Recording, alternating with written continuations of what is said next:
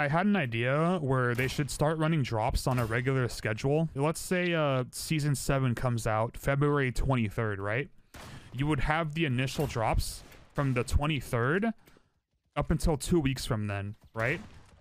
And then after that, you wait a whole week as like a downtime and then you release another drop set for two weeks. They did something kind of similar. They had junkyard drops, but the issue with junkyard drops is they were always the same items. It was always the same items and it was always craftable items. Like, watch two hours for an epic skin, watch another four hours for a legendary skin. I mean, yeah, it helps the streamers more than Krunker probably, because like the streamers would get A, more ad revenue, B, better sponsorship offers. But I mean, Krunker in return would also get a, would also get a bigger presence in, on Twitch too, you know, at the same time. It may not be like a huge boost in presence, but it'd be a lot better. Because I would assume if they run drops, the category would be like 2 to 3k viewers, probably, if I had to assume. I'll, put an example as to like what could be in the drops, right? So let's open up the hub, right? And let's go to newest skins season 6, and let's look at legendaries, right?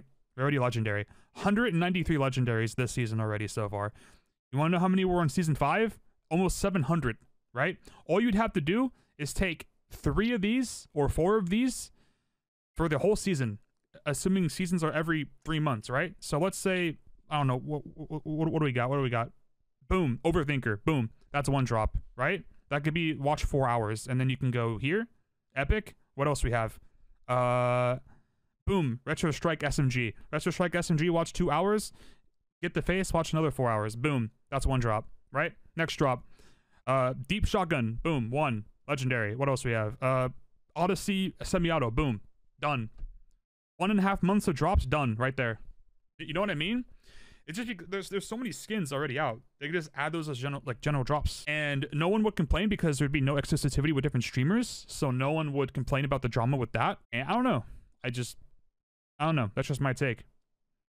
I feel like people were just kind of bent on the idea junkyard drops not working, but like people don't realize it was because it was just always the same items over and over again, right? And if people think it's because it's running too often, then you could always space them out. I'm not saying it has to be two weeks on, one week off, two weeks on, one week off. It, it could be like, you know, a week on a, and three weeks off, or two weeks on, two weeks off. You know what I mean? I don't know. I feel like running drops on a semi consistent basis every season would be not the worst idea in the world. That's just my take. I kind of want to see YouTube's thoughts on it.